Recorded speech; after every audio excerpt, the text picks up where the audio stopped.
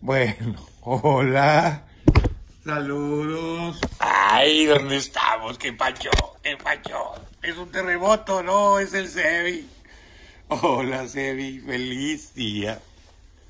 ¿Cómo estamos? Vamos a contar un cuento. No nos vemos bien. Más para atrás. y nos está saltando la cámara, compadre. ¿Dónde estamos? Ay, mi, mi, yu, yu. Oye, el cuento se llama Pepo, de Yolanda Fernández.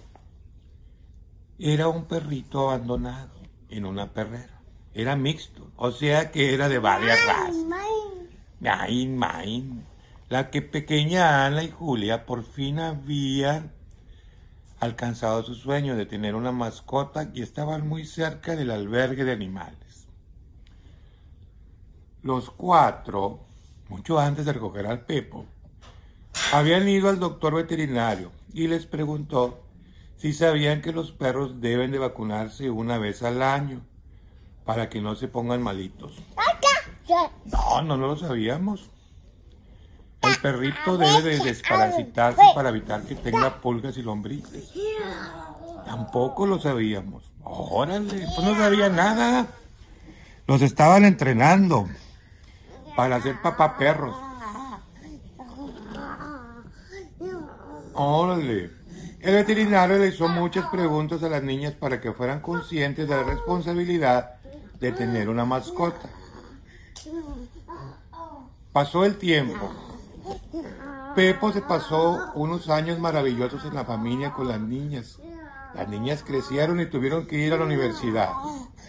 El perrito ya nadie tenía tiempo para él. La familia no quería deshacerse de él, no quería regresarlo al, albergue porque lo quería mucho. ¿Qué vamos a hacer, Sebi? Ve, pregunta. Le preguntamos al Sebi, ¿qué vamos a hacer? No. Órale. ¿Qué vamos a hacer con el perrito? De repente se les ocurrió una gran idea. Doña Angélica era una vecina que vivía solita desde hacía poquito tiempo y estaba muy triste y muy sola. Entonces fueron a preguntarle si le gustaría cuidar a Pepo y estuviera con él por las tardes. Entonces la señora Angélica se fue acostumbrando al Pepo y él disfrutaba con ella, le, le traía las pantuflas, este, le traía el, el estambre del tejido, la acompañaba que no durmiera sola.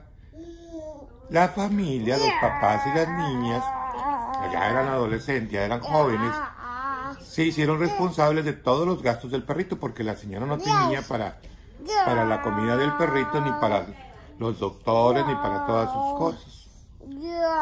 Y desde entonces, cuando ellos tenían la oportunidad de ir a ver al perrito, iban a la casa de la señora Angélica y veían al perrito. ¿Cuál es la moraleja del día de hoy? Que tenemos que saber aceptar los tiempos de nosotros y de nuestros animalitos. A veces debemos de compartir la responsabilidad de cuidarlos con otras personas para que sigan teniendo una hermosa calidad de vida. Bueno, Sebi, ¿cómo te fue? ¡Oh, no! No, no, ¿qué? Feliz día, feliz. Felicidades. Nos vemos. Nos vemos luego, ¿verdad, compadre? Diles adiós. Diles adiós a tus primos. Bye, bye, bye. Cheese. Diles cheese. Sí. Cheese. Nos vemos luego. Adiós.